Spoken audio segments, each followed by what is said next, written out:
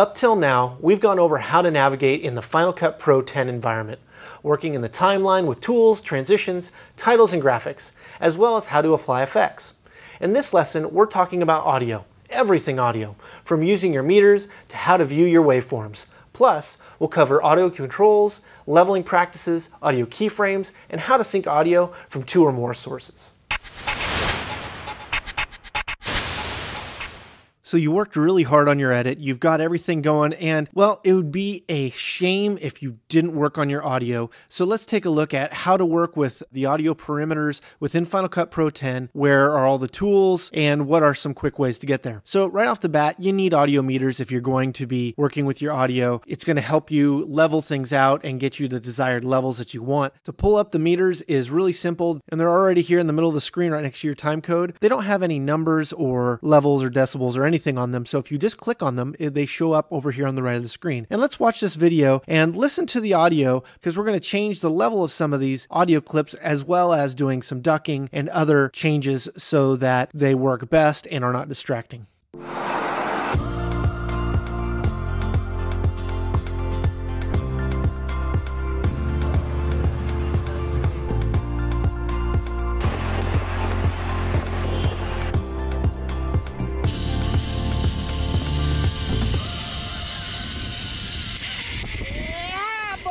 All right, so you can tell that wasn't very well balanced. There was definitely clips with background sounds that are louder or maybe even unnecessary. So let's talk a little bit about where levels should be. As a whole, your audio doesn't want to be going above zero at any time. Above zero, you get digital distortion, and digital distortion does not sound good. It's not pleasant, and there's no purpose for it. So stay below zero. You don't want to hit the red. You want to make sure all of your audio is down below that. Now, depending on what you're doing, voiceovers and narratives probably want to live between negative six and negative 12. So when you're playing them, listen to that. And as well, your music, if you're mixing those two, should be around negative 20 to negative 30, that you could put voiceover with music below it. But like in this case, it's a video montage. So the primary is the music, and the natural sound from each clip or nat sound is secondary. So you don't want that to be distracting from what you're doing, like the cut, beat, or have any peaks that pop out and it'll make it digital distort because you don't want that. Because on the final product, even a peak of digital distortion will not sound right. Now let's start off with the appearance so we can get into editing these so you can really see what's going on.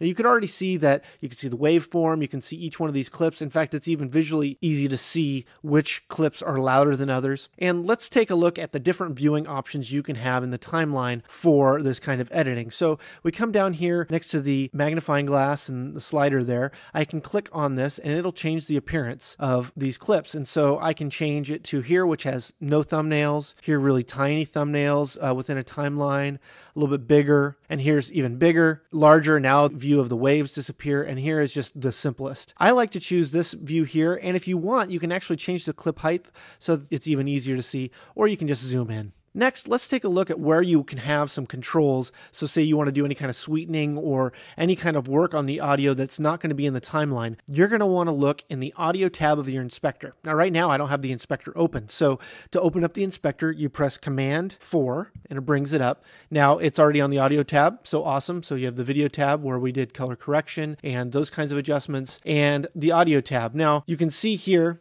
that you have your volume so I can raise and lower the volume from here. I can also do it down here at the clip level and there's a black line here and you can see that it turns into two little arrows and tells me negative 9 dB and that is also if you look up the inspector what it says and as I raise and lower those you can see that they correlate with each other. Now say you want to enable or disable something. So to enable or disable it's keyboard shortcut V. I click V and it will disable it and I can press it again to enable it again. Very simple. So if you are just turning things off, want to hear things out without pressing solo, or you want to just see what something is like without it there, you can enable or disable it. So if you want to change your audio volume by just one decibel and you don't want to get in there with the mouse, you don't want to go up to the inspector and type it in there, you can press Control plus to go up 1 dB or control minus to go down 1 dB. Every time you press the plus or minus, it goes up 1 decibel. Now, here's a good way of getting macro into your edit. If you are trying to work on some audio and it's in this little range and you're just trying to get it perfect, you want to get the timing of a fade or whatever you're doing perfect, you're going to want to create a loop. To create a loop, you want to enable looping. And you can either do that by pressing Command L or you can go up to, to View, click on View, then go Playback and you can select loop playback. So loop playback is already on. So I can come back here and if I press shift question mark,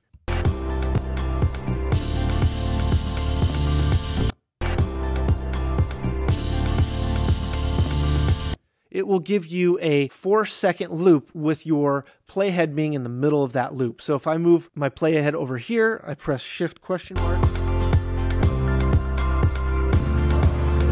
And that will help you get a little context on whatever area you're working on. So move the playhead to the area you're working on and then loop it. Now there's a real easy way if you want to just level all of your clips so they're all about the same level and it's just visually. So I can come back to this back clip and I can lower it down so that the levels appear the same on these waveforms and I can then lower this one down and it looks like this one needs to go up a little bit and here goes down and I can go up well, looks like there's no sound on that clip. And go up here. It looks like I got a peak on there, so I should pay attention to that. And I have one here, and then I want to lower this. So let's take a listen to this now that I kind of normalized all of the audio tracks, so they should be about relatively the same volume. Let's go to the beginning and listen.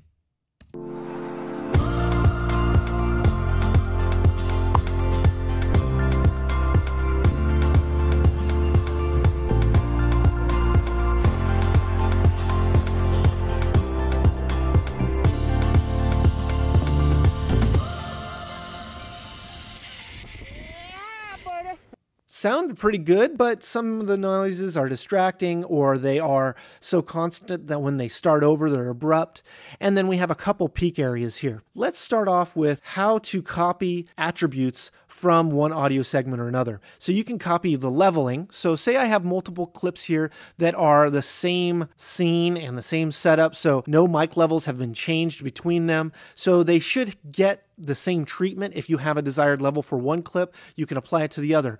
And it's easy as clicking on that clip, pressing Command C, and then I can go over to the next clip, click on it, and then I can go up to Edit, Paste Attributes, and it brings up this window. So you can also do this with video, so it should work no matter what you're working on. And we can see here that all the audio attributes, I want volume.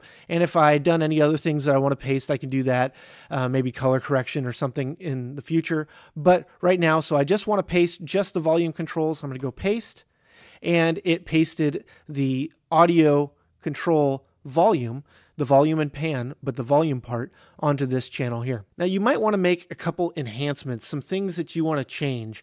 And if you go up into your audio inspector here and you want to go and change and, and do different things. So like you can add some equalization or whatever you'd like here.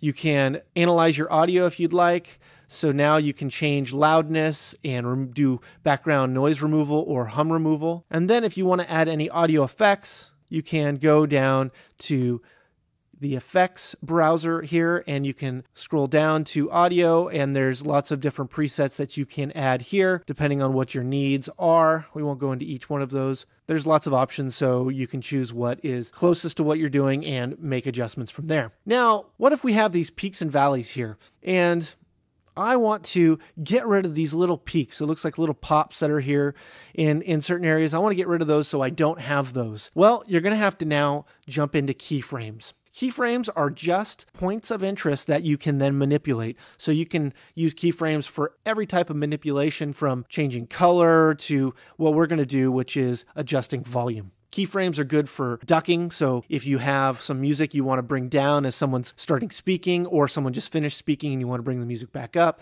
you can use keyframes for that. It's good to turn down hotspots like what we're going to do now, or just to increase dynamics depending on what you're doing. And we'll also show you that. So right off the bat, let's take a look at these couple little peaks. Let's go to this one here, and I'm going to go Command plus so I can zoom in. And you can see it actually shows me that this is peaking. So what I want to do to add a keyframe, I can press Option click, to my black line here and I can put it over here. I can, if I want to put four keyframes, and then I can just grab the two by holding shift. I can choose them both and I can bring them down. So now if we listen to this, you don't hear that pop. It's not there. Let's get a little bit more context. Let's try our shift question mark.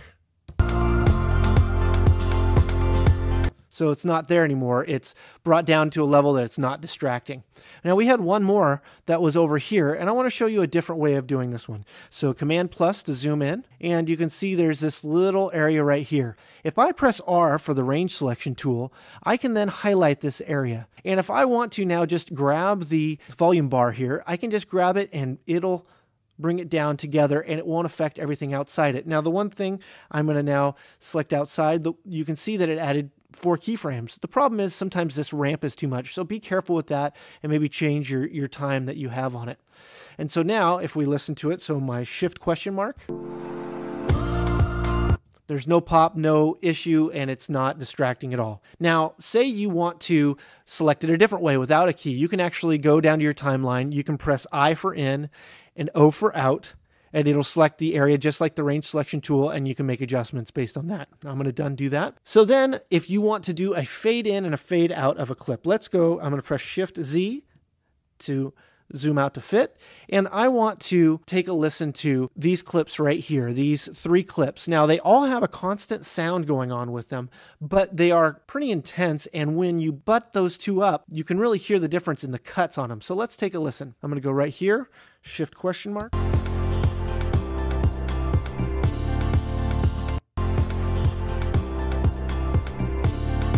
So it works all right because the cuts are kind of masked by the beat of the song. But say we wanted to add a fade because it was distracting, so you wanted to gradually come up. And like in this clip, I want it to gradually come up because the song ends. So let's zoom in, Command plus, and let's take a look at here. I have my volume bar right here and it's negative 19 dB. And you can see just at the cut, there's this little like teardrop. And if I get close to it, it'll change my tool to this, which is two arrows going left and right. And that's the fade in tool. And it automatically goes there from the select tool. And if I go up a little bit, it changes my tool. So it's got to be right over that teardrop. And if I click and hold and then I pull back, it will add a fade there. Now, if I right click or press control click, you can see it'll actually change the type of curve or the type of fade that it'll offer to it. So uh, right now it's on S curve. I can do plus 3 dB and you'll see, yeah, it looks a little different. You have this grayed area and this transition is going to be a little bit smoother. Shift question mark. See, it's just not as edgy and you're not as noticeable that the clip changed. It's not making an auditory difference when the clip and the cut happens. Now, one last thing about audio that we're going to want to show you because it's very strong and it's super nice because syncing audio can be such a pain. It's real easy now and you can do it only though with one clip at a time. And I happen to have two clips that I want to listen to. So let's just listen to this.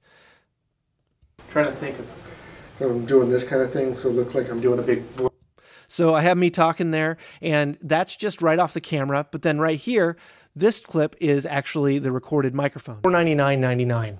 We're going to dive into three main categories and it sounds a lot better. So I want to use the audio from my external recorder and not the camera microphone. Now what I'm going to do is I'm going to highlight both of them and I'm going to control click or right click and I'm going to go to synchronize clips. Now I get to rename the file because it's now making a third clip that's synchronized. So I'm going to want to say this is um, stand up S-Y-N-C stand up sync and I want to take a look at the custom settings. So if I open this up, it gives me, it goes what event, and that's the only event to choose from. And it wants to know what kind of synchronization. So you can do it from time code. So if you have time code sync on there, it can do it from there. It can do it from the content created. You can do it from start of first clip, so just sync it right off the bat, or from the back of the clip if you wanted to, if they may be ended at the same time. But automatic works really well. You can use audio for the synchronization. And we're going to go OK, and it's made a new clip, and that's it right here. So if I want to open up this clip and bring it to the end here, you can now, I can zoom out, you can hear. Doing this kind of thing, so it looks like me talking. Well, let's pull up the inspector, and I want to show you something what it is, it actually has both audio now on, both the audio from the camera and the one from my external device. Well, the camera one's going to have a lot of echo from the room, so I just want to turn it off. So you do that in Inspector here, and you just uncheck it, and now it's only come off microphone. of where you were for for an. So let's go to a place where I'm talking. Able to read through it pretty well. The back end might need. So you can see that you can turn off one or the other, and that way you have just the one audio. Because when you sync it, it's keeping the original one and the one you want to sync it to. And now you know how to navigate all of the audio preferences within Final Cut Pro 10. In our next segment, we're going to be covering rendering and the export window.